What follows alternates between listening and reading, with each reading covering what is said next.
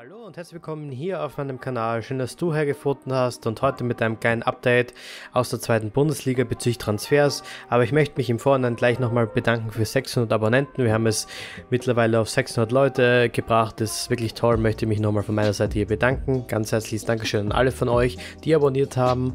Und wir reden heute über den Transfer von äh, Michael Solbauer vom FC Barnsley zu Dynamo Dresden. Die Aufsteiger aus der dritten Bund aus der dritten Liga haben sich den den routinierten Innenverteidiger geholt. Reden wir doch mal kurz über diesen Deal. Dynamo Dresden verstärkt sich also mit erfahrenen Spielern für die zweite Bundesliga und dieser Spieler ist eben der 31-jährige Michael Solbauer, ein Innenverteidiger und er unterschreibt einen Vertrag bis 2023 und soll mit seinen Führungsqualitäten und mit seiner Erfahrung der Verteidigung von Dynamo Dresden weiterhelfen. Kurz zu seiner Biografie. Michael Solbauer ist Österreicher. Er ist, wie schon vorher erwähnt, mittlerweile 31 Jahre alt, also nicht mehr der jüngste.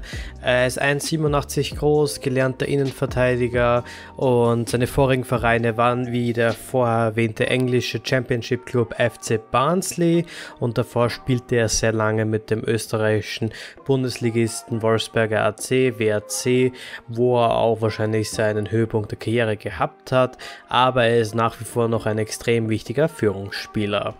Beim WRC wurde er bekannt und konnte seine Stempel als wichtige Stütze in der Innenverteidigung nochmal den Stempel aufdrücken. Nach jahrelanger Spieleinsätze beim WRC hat er sich dann, als sie das erste Mal international gespielt haben, da gab es dieses eine Spiel gegen Gladbach, wo sie ja 4-0 gewonnen haben auswärts. Da war er ein elementarer Teil der Innenverteidigung und da hat den WRC auch zu sehr großen Erfolgen geführt, auch als Kapitän und ist dann als weiterer, weitere Folge zum FC Barnsley in die Championship gewechselt gewechselt, wo er auch nur ganz knapp den Aufstieg letzte Saison verpasst hat in die Premier League. Und jetzt ist es Zeit für ihn wieder weiterzuziehen und er geht jetzt nach Dresden, wo er zu einem Traditionsclub kommt. Für den Traditionsverein aus Dresden ist es natürlich wieder wichtig, in der zweiten Bundesliga zu bleiben. Ich denke, das ist die oberste Priorität für den Club aus dem Osten, aus Sachsen.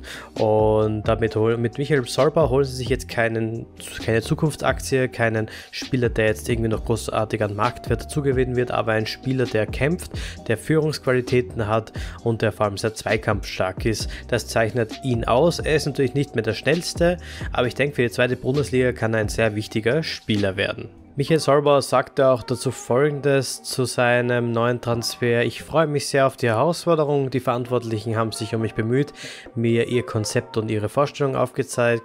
Darin habe ich mich voll wiedergefunden und bin überzeugt, dass dieser Schritt der absolut richtige ist.